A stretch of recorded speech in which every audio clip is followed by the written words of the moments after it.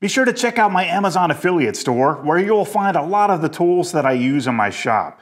You'll also find a brief description of the tool and what I think of it. You'll find a link to my Amazon store in the description of the video.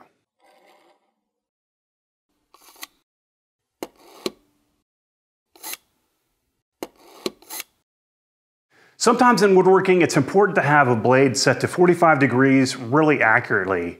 Now, this comes in handy when you're making boxes, for example, that have mitered edges along the length of the box. Now, probably the most popular method for aligning a table saw blade to 45 degrees is to use a 45 degree triangle. Now, you just take the 45 degree triangle and push it along the side of the blade, being careful not to make contact with the teeth. And then you can use feeler gauges if you want to, to slide it in between the blade and the triangle, all while making adjustments to the angle until you have a really nice tight fit between the triangle and the blade. Now, another popular method is uh, using a digital angle gauge finder. Now, these usually have magnets on the bottom and they just place them along the side of the blade. Then you make adjustments to the angle of the blade until you reach 45 degrees. Now, the one that I was looking at online that is a really popular model these days is only accurate to 0.2 degrees or plus or minus 0.2 degrees. Um, now, this might be okay for some things in woodworking, but uh, when you're making a project and you really have to have a very accurately set 45 degree angle blade, it uh, may not be good enough for the project that you're working on.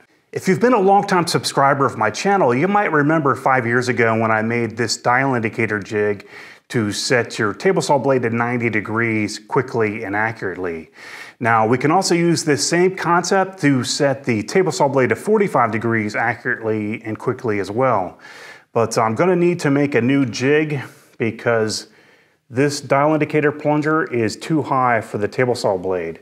So I'm gonna need to make a new jig so that the dial indicator will sit lower and uh, we can then use it to set the table saw blade to 45 degrees. Now, because I showed uh, five years ago how to make this jig, I'm gonna just real quickly go through the process and I'm not gonna spend a lot of time on it. And I'm going to link to the video where I made this one.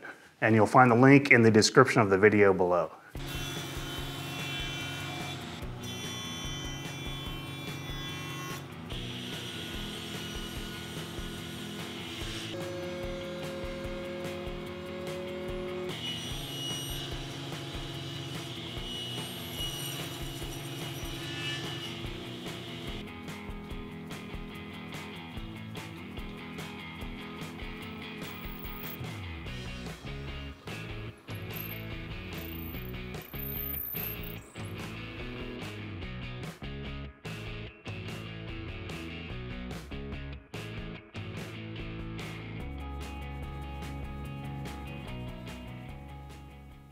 Because I mentioned the accuracy of that popular digital angle gauge being around plus or minus 0.2 degrees, I wanted to also go over the accuracy or the potential accuracy of using this method. Now, it's going to depend on two things primarily. The accuracy is going to depend on the accuracy of your dial indicator, and it's also going to depend on the accuracy of your 45 degree angle block. This dial indicator has an accuracy of plus or minus one thousandths of an inch. Now, if we assume for a second that this method of setting your blade to 45 degrees has no other sources of error, we would have an angle error of plus or minus 0.037 degrees, which is not too bad. But uh, another source of error involved in using this method is going to come from your 45 degree angle block. Now, you can find these on the internet with a very high degree of accuracy, and you can get them with uh, an accuracy of plus or minus 0.01 degrees for less than $100. But if you spend even more money, you can find these with even higher degrees of accuracy. Now, there are lesser degrees of accuracy where you can spend less money, but uh, it's going to depend on the kind of work that you're doing and how accurate you actually want to be with this method. Before we can use our dial indicator jig to set our table saw blade to 45 degrees, we need to first calibrate it to 45 degrees using our gauge block. And I'm using a nice flat granite surface plate in order to calibrate it. So I'm just gonna rest the body of the jig on the granite surface plate and then pull the plunger of the dial indicator back And then with the gauge block resting on the granite surface plate and then making contact with the lower screw, I'm going to release the plunger until the stylus makes contact with the gauge block. And now I can just adjust the bezel of the dial indicator until it reads zero. And now I'm calibrated for 45 degrees. I've already tilted my table saw blade to 45 degrees by using the graduations on the front of the table saw, and now I can fine tune it by using my dial indicator jig. So I'm just gonna push the jig into the side of the blade with the plunger retracted, and then slowly release the plunger. And as you can see, it's not reading zero. So I need to make adjustments to the angle of the blade until I get zero right there. If you wanted to, you could spin the blade and take a second reading just to make sure. And it's measuring about close to 1,007 inch. It's actually in between zero and one. And we could spin it again and take a third reading. And it's measuring about 1,007 inch again. And if I could just give out one more info nugget while I'm over here, go ahead and take your positive stops for both 45 degrees and even your 90 degree positive stop.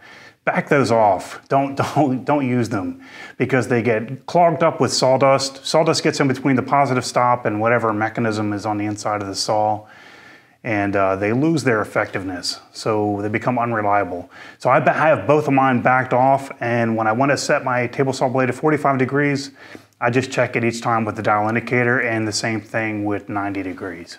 If you don't already own a dial indicator, do yourself a favor and go get one. They're such an incredible useful tool to have in the shop. And you can find a decent dial indicator for less than $30. And I think I've probably demonstrated already maybe a half a dozen different uses for them on my channel uh, already. So assuming you already have a dial indicator, the only thing that you would probably need to buy to use this method would be the 45 degree angle block. And like I mentioned, you can find decent ones for under $100. So you don't need to spend a huge amount of money on a really high accuracy 45 degree angle block. Um, so let me address one more thing. So because I'm using a dial indicator in this uh, method, I know I'm gonna get comments around accuracy and what accuracy is really required for woodworking and blah, blah, blah. So let me just address that uh, before I end this. Um, so for me, using a dial indicator, it's more about speed. It's about setting up my tools quickly. I can use my dial indicator jigs and, and very quickly set up my tools and walk away knowing that they're set up properly. I don't have to make any test cuts. Um, as, you, as, you, as you saw when I, when I set up my table saw for 45 degrees, I didn't even turn it on. I never even made a single test cut.